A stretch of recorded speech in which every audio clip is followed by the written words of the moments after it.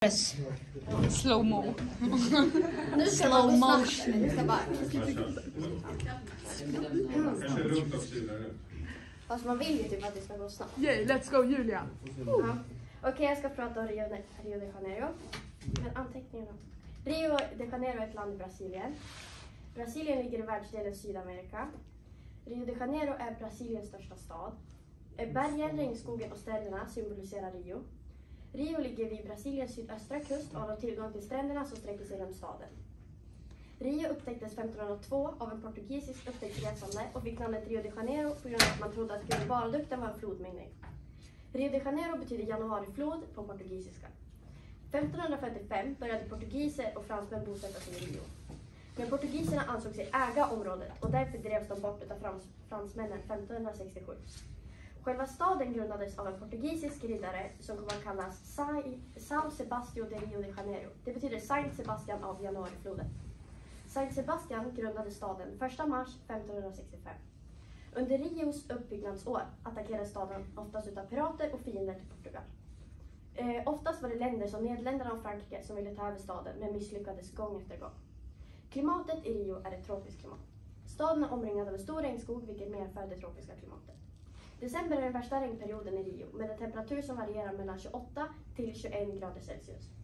Juli är Rios lugnaste månad eh, då staden då har en knapp nederbörd och en temperatur som en vanlig svensk sommar.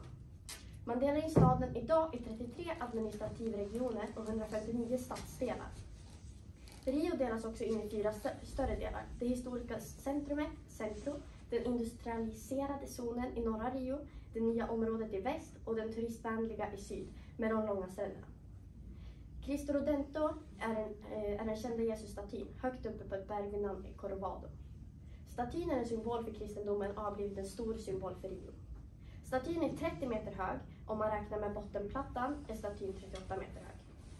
Statyn ska vara beräknad att väga ungefär 1145 ton. Statyn är skapad av konstnären Paul Lovensky som levde mellan åren 1975 till 1961.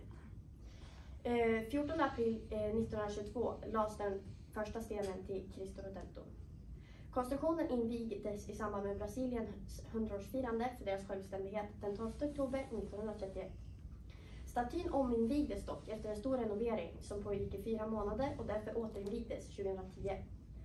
Kåkstader omringar staden i Rio. Ofta så kan man se hus byggda av plåt, i princip ingenting, eh, att, och de husen tillhör kåkstäder. Kåkstäder kan också kallas för favela i, fa- i Brasilien eh, och kommer, eh, favela kommer från portugisiska. Rios största favela, har omkring 250 000 eh, invånare och går under namnet Prochina. Det är bara en liten mängd av alla människor som lever ett normalt liv i Rio och har normalt med pengar. Det är många människor som lever utan tillgång till rent vatten, mat, toaletter med mera. Så livet i favelan kan vara hårt och tufft. Men det är Rio de Janeiro. Tack!